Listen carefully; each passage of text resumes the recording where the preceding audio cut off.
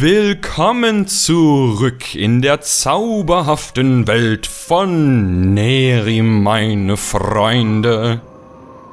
Äh, bevor wir hier loslegen, direkt mit der Hauptstory weitermachen, eine ganz kleine kurze Erwähnung am Anfang dieser Aufnahme. Und zwar, wie ja einige von euch sicherlich wissen, ich stehe so ein bisschen ab und zu im Kontakt mit den Leuten von Shure AI oder mit einigen von ihnen. Und ich habe mich mit ihnen unterhalten, was die Sache Enderal angeht. Und zwar nämlich werden da noch Skripter gesucht. Das heißt jetzt gerade nicht so Leute, die unbedingt Ideen haben für Quests oder Story schreiben wollen oder sonst irgendetwas, sondern tatsächlich Leute, die sich dazu bereit erklären würden und auch einen Plan davon haben, Quests in das Spiel zu integrieren. Und einfach allgemein Skripter, ja. Und da wurde ich höflichst darum gebeten oder beziehungsweise ich habe mich angeboten, das einfach mal hier drauf hinzuweisen, weil so einige von euch schauen ja hier zu und ich weiß auch von euch sind ein paar talentierte Modder mit dabei. Und von daher, wenn ihr ein Skripter seid oder euch damit auskennt mit solchen eher technisch veranlagten Sachen, dann meldet euch einfach bei Shure AI, egal wo, am besten übers Forum per PM an die Chefis da anschreiben und die werden sich sicherlich freuen, wenn ihr ihnen ein bisschen unter die Arme greifen könnt, was Enderal angeht. So.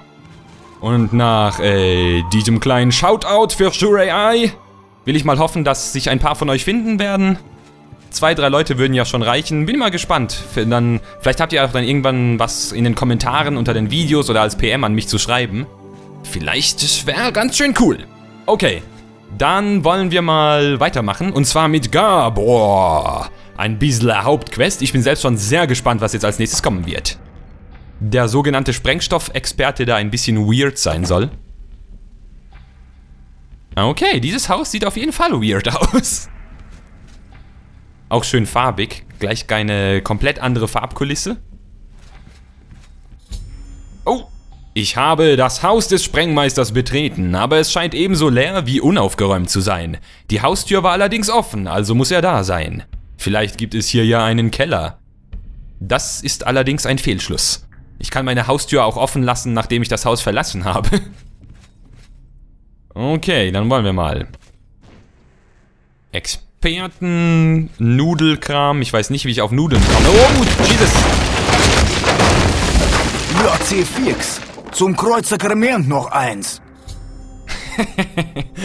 Ah, ich, irgendwie, ich hatte das Bedürfnis, Nudeln zu erwähnen, aber äh, ja, ich wurde very rude einfach unterbrochen. Plötzlich hörte ich eine gewaltige Explosion unter mir. Das riecht nach Ärger. Oh, da hat jemand ein rollendes R in seinem Akzent. Was für Experimente treibt der Kerl wieder hier unten. Bevor noch das ganze Haus uns um die Ohren fliegt. Ihr da! Ja, ihr! Ihr müsst helfen! Ich bin hier eingeklemmt und das Feuer breitet sich aus. Die Fässer müssen in Sicherheit gebracht werden. Da ist Sprengpulver drin. Ein Teil von Lager ist in den Fels gehauen. Feuer kann dort nicht hin. Dort müsst ihr die Fässer hintragen, bevor Feuer sie erreicht. Und beeilt euch! Feuer breitet sich aus! Wenn ihr zu lange braucht, werden Fässer explodieren! Puh, ich musste gerade eben beide Kopfhörer anziehen. Dieser Dolby Surround, ich habe immer nur eine Seite vom Kopfhörer auf, dann weiß ich nie, was gerade rechts sich von mir abspielt. Ich kam gerade richtig, der Sprengmeister hatte sich eben in eine prekäre Lage gebracht und sein Lager in Brand gesetzt. Nun muss ich die Sprengstofffässer, die überall hier herumstehen, in Sicherheit bringen. Das Feuer wird gewiss nicht in den Bereich gelangen können, der in den Fels gehauen ist. Genau dort müssen die Fässer hin. Ich sollte mich zuerst um die Fässer kümmern, die im hinteren Teil des Lagers stehen. Okay. Also, diese da, die, die ganz hinten.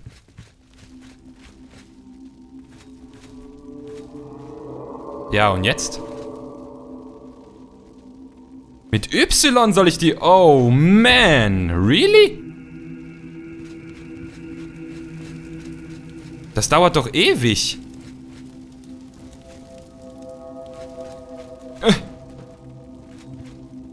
Ich hätte gehofft, ich kann die irgendwie einstecken oder so. So ist... Oh. oh Gott, das kann ja was werden. Sehr gut. Genau da müssen Fässer hin. Ja, genau da müssen die Fässer hin. Das dachte ich mir schon. Oh mein Gott. Hätte ich diesen Hotkey nicht auf Y... Werde jetzt nicht für diese eine Quest den Hotkey umstellen.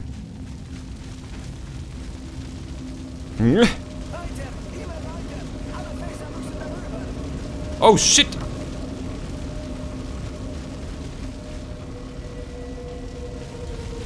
Oh, shit. Warum verbreitet sich das Feuer so schnell?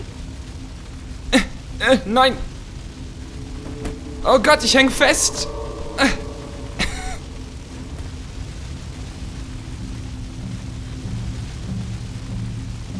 Das sind viel zu viele Fässer. Wie soll ich die denn da alle wegbekommen?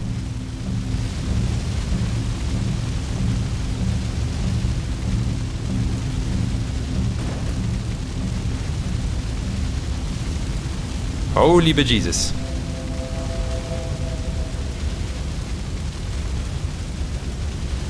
Oh, au!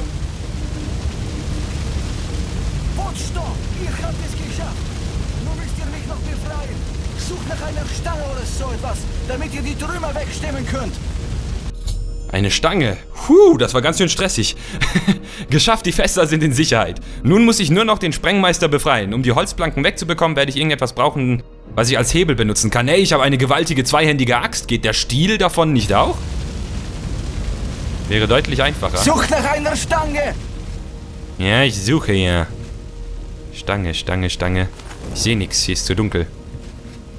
Stange, Stange, Stange. Stange, Stange. Stange. Hier, Besen.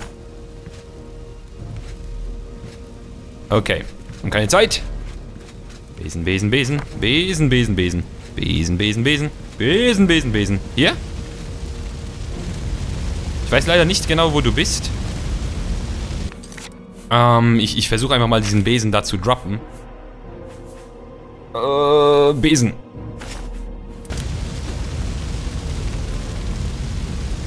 Äh, da. Geht das nicht? Hallo?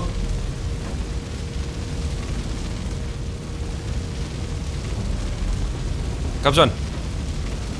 Ich habe das Gefühl, das funktioniert nicht. Kann ich nicht einfach... Hier.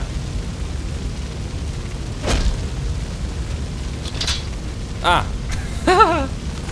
das geht natürlich auch. Einfach die Stange nehmen, die direkt hinter mir steht. Das macht die Sache ein bisschen einfacher. Huch. Ich bin befreit. Spasiba. Nun aber raus hier. Wir müssen nach oben. Ey, der spricht ja wirklich Russisch. Spasiba. Danke. Heißt das? Здравствуйте, Gabor. So, und jetzt? Ein Glück, dass ihr gerade jetzt gekommen seid. Das ist nicht erstes Mal, dass Lager abbrennt, aber erstes Mal, dass es gefährlich wurde. Doch ihr habt geholfen. Wie kann ich euch danken?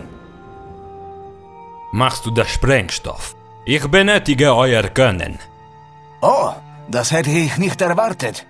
Ich dachte, ihr habt nun falschen Eindruck von mir. Ich bin ein Künstler, müsst ihr wissen. Sprengstoff ist mein Pinsel und Explosionen meine Leinwand. Wenn ihr Künstler wollt, helfe ich euch. Ich komme zu euch, sobald ich Lager ein wenig aufgeräumt habe. Ich kann gut aufräumen, keine Angst. Wo muss ich hin? Ostian? Der Hafen? Хорошо, ich werde da sein. Ich bin Mann, der zu seinem Wort steht. Verlasst euch drauf. Okay, sehr schön. Ich habe übrigens gesehen, dass du einen Fake-Bart hast. Da kann man durchschauen von hinten. Wenn du den Kopf drehst. Da. Ja, ja, ja, ja, ja. Gabor, wir dich treffen in der Stadt. Das erinnert mich wieder an Singularity Let's Play von mir. wo ich wirklich alle Nachrichten mit einem russischen Akzent vorgelesen habe. Na, das war köstlich. So, also. Immer noch sechs Teleportruhen, echt? Ich dachte, ich hätte irgendwann welche verbraucht. Aber dann gehen wir mal zurück nach Ostian. So, meine liebe Bonnie kommt natürlich automatisch mit. Die Brave ist nämlich so gnädig und schafft es sich irgendwie, obwohl sie eine gewaltige Distanz zu mir hat, sich an meine Schultern zu heften und dann auf meinem Rücken mit dem Teleportzauber zur Stadt zu reisen. Irgendwie glaube ich, dass das nicht so funktioniert. Aber die Vorstellung ist relativ, sagen wir mal, interessant. Hafen, los, schnell, abgezogen. Oh, nur nicht zu voreilig, bevor ich mir noch die Haxen breche hier. Da. Callisto, Kim, ich habe neue gute Neuigkeiten. Ich kann verdammt nochmal reagieren, wie ich will. Ihr solltet aber auch mal über die Konsequenzen nachdenken. Und du darüber, was du sagst. Ich leite das hier. Ohne uns schafft ihr hier gar nichts. Humbug. Nichts da, Humbug. Außerdem müssen wir unauffällig sein. Ihr dürft nicht immer so hitzig reagieren. Halt sofort die Klappe. Seid doch in Zukunft einfach etwas besonderer. Schandmaul. Aber bitte, du kommst ja wohl auch ohne mich zurecht. Dann gehe ich eben. Ja, Callisto, bitte. Ich bitte euch. Ich hab's satt. Sieh doch zu, wie du den Mist hier alleine hinbekommst. Ne, er ist durch mich durchgegangen, crazy. Scheiße. Was habe ich da angerichtet? Bitte verzeih mir. Ich konnte doch nicht wissen, dass er so reagiert. Oder dass er. Dass er uns hier alleine lässt. Verdammt. Na, das ist schon in Ordnung. Ich arbeite auch lieber ohne ihn. Leider hat er die ganzen Instruktionen und Anweisungen von Arantheal und wollte uns nicht alles erzählen. Nein? Denkst du? Danke. Danke, dass du zu mir hältst. Das, das ist sehr nett von dir. Kein Problem, du bist zwar ein Weichei, aber dafür ist der Typ ein Choleriker. So, und jetzt? Denkst du, wir können weitermachen? Können wir es ohne Callisto auch schaffen? Der Orden zählt auf uns. Alles hängt von uns ab. Von dir und von mir. Ich glaube, wir müssen es schaffen. Oder alles, was wir bisher durchgemacht haben. Die Reise nach Arktwend, die Befreiung von Karbaet und Erutin. All dies wäre umsonst gewesen. Es wird klappen. Wir sprengen die Statue und entfachen die Revolution. Wir schaffen das. Oder was denkst du? Wir schaffen das.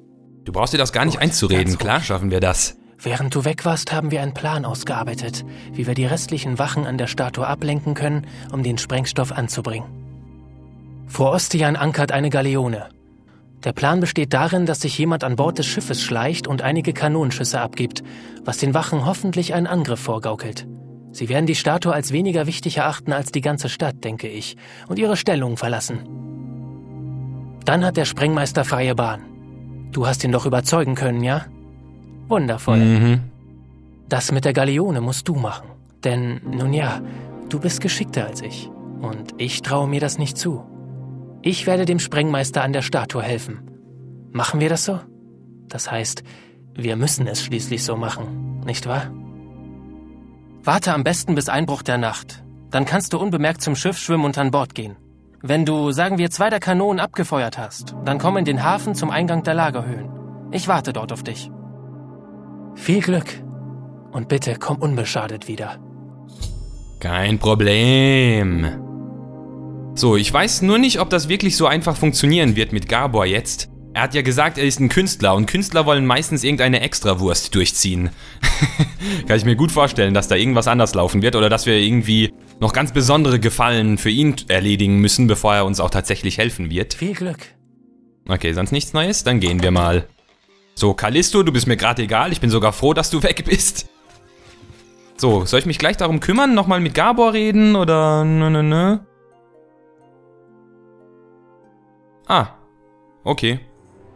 Also wir hoffen einfach, dass er dann kommt, oder was? Oder vielleicht wird es auch eine super kreative Explosion. Hier, das ist der Lagereingang. Da werden wir uns dann gleich treffen. Sehr schön. Dann wollen wir jetzt gerade mal noch kurz bis nachts warten. Wie viel Uhr haben wir? 1 Uhr nachmittags. Ja, bis wann warten wir so? Hm, mal bis 23 Uhr. Beziehungsweise bis 22 Uhr. Jetzt haben wir 8, 3, 23, 0. What? Ich habe kein Problem zu zählen. Ihr habt ein Problem zu zählen. Alles gerade egal hier. So, 10 Uhr. Ähm. Na, na, na, na, na, na, na, na. Auf den großen Turm abfeuern, okay. Ich kann die Galeone mit einem Ruderboot erreichen, das gegenüber der Festung am Ufer angebracht ist. Aha. Gegenüber der Festung am Ufer? Echt? So weit hinten? Ja, tatsächlich. Okay, dann folgen wir mal kurz hier so dem, dem Rand der Stadt. Blub. Oh, ich muss ganz ehrlich sagen, der Mod Adash, den ich momentan parallel vorstelle auf dem Kanal, jetzt wo ich wieder Nerim spiele, alles fühlt sich einfach so qualitativ hochwertig an und so gut. ich will zwar Adash jetzt nicht zu sehr irgendwie in den Dreck ziehen, weil für die Zeit, als es rausgekommen ist und für die Anzahl der Leute, die da, wie es aussieht, mitgearbeitet hat, ist das trotzdem ein sehr akzeptables Ergebnis. Aber, äh, ja, jetzt gerade, ich, mer ich merke einfach wieder, dass, wow, einfach, Nerim ist einfach so schön polished. Da laufe ich sehr gerne durch und gucke mir die Sachen an. Wow, ist die Palme hier gebogen. die Nüsse müssen wohl ganz schön schwer sein, dass die sogar den Stamm zum Biegen bringen. So, hier irgendwo. Jetzt gehe ich ganz offensichtlich vor den Augen aller Wachen hier auf die andere Seite. Hier, Ruderboot. Ah, sehr schön. Undercover-Ruderboot. Mit einem Schemel, der die Fahrt initiiert, oder? Nein? Huch! Hab mich schon gewundert, passiert jetzt was? Oh yeah. Mit der Kraft der Gedanken. Eigentlich müsste ich, wenn man nur nach den Wellen hier geht, wieder zurück ans Ufer gespült werden, wegen den Wasserfällen, die eigentlich auch eine kleine Strömung verursachen würden. Lalala. Lala. Uh. Reflexionen alle reingeladen. Nein, ich werde jetzt nicht anfangen, Mission Impossible zu summen. Vergiss es! So. Ich bin nun an auf dem Schiff angekommen. Die Kanonen dürften sich unter Deck befinden. Ich muss nun die entsprechende Bewaffnung, Kanonenkugeln und Schwarzpulver finden und die Kanonen auf den Turm abfeuern. Ist ein bisschen radikal, aber... Ich dachte mir, wir schießen einfach mit den Kanonen irgendwo so aufs Meer. Das dürfte auch schon die Aufmerksamkeit auf uns ziehen. Aber ich denke, das, das wird ein bisschen effizienter sein, wenn wir einfach äh, an den Turm schießen. So. Kann ich auch hier durch? Nein. Gut, dann hier? Nein. Dann nehmen wir die, die, das kleine Unterdecktürchen. Oh.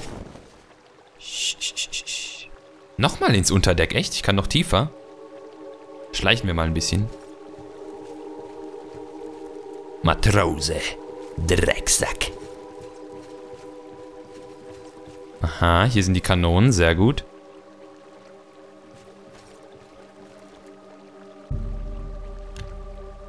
Was? Zuerst mit Schwarzpulver befüllen, okay. Was sucht denn der Zombie hier? What? Kanonenkugel, wir wollen zweimal was... Oh, 20 Steine wiegt das Ding. Sogar mit einer Anordnung. Ahoi, Scotty! Ich habe mich entgegen der Anordnung des Tempels, das Schiff stets kampffähig zu halten, dafür entschlossen, das Schwarzpulver in meiner privaten Kabine unterzubringen. Nach dem Unfall mit RK ist mir das Risiko eines weiteren Verlustes zu groß. Sollte sich wieder ein Mannschaftsmitglied dazu entschließen, auf dem Deck mit Schwarzpulver zu spielen. Für den Fall eines Kampfes händige ich dir und nur dir den Schlüssel für meine Kabine aus. Trage ihn immer bei dir und sorge dafür, dass kein Matrose diesen Schlüssel in die Hände bekommt. Gezeichnet Kapitän Bleifuß. Also, wir müssen jetzt nach Scotty suchen. So, Kapitän in seiner Kabine weggeschlossen und Scotty hat den Schlüssel. Wenn ich geschickt genug bin, könnte ich den Schlüssel vielleicht aus seiner Tasche stehlen, ohne Blut vergießen zu müssen. Das werden wir mal sehen. Okay, also hier komme ich jetzt auf jeden Fall nicht so schnell. Dietrich, ja, ja, ja. Das ist vielleicht die Kajüte vom Kapitän. Scotty wird wahrscheinlich wirklich Scotty heißen. Und nicht hier irgendwie Matrose einfach nur. Ich gehe mal noch ein Stockwerk weiter runter. Scotty! Heb mich hoch!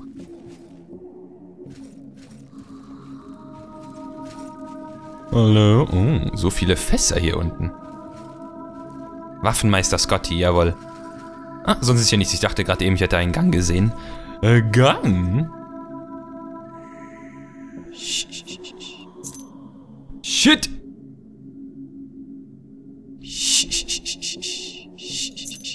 Shit!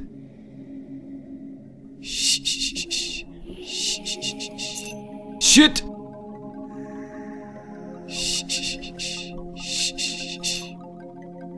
Hey Leute, first try! das ging ja super! Schneide mal raus, den Rest schneide mal raus. Ich will mal gucken, ob es einfach irgendeinen anderen Questausgang gibt, vielleicht, wenn ich das ganz leise mache. Hallo. Oh. Ah, sehr gut. Kann ich auch die Tür hier aufmachen? Nein, okay. Unmöglich. Vielleicht ist das meine Fluchtroute oder sowas. So, halt. Oh. Gucken wir mal nur, was er so bei sich hat. Mithril, Südrechtdegen, okay. Weswegen sind wir nochmal hier? Ach so, Schwa ja. Äh, Gerade eben ist es mir eingefallen und dann habe ich auch das hier gesehen. So, Schwarzpulver dreimal, das muss auf jeden Fall reichen. Oder? Ich weiß nicht, wie viel man da reinlagern muss. Weißt du was?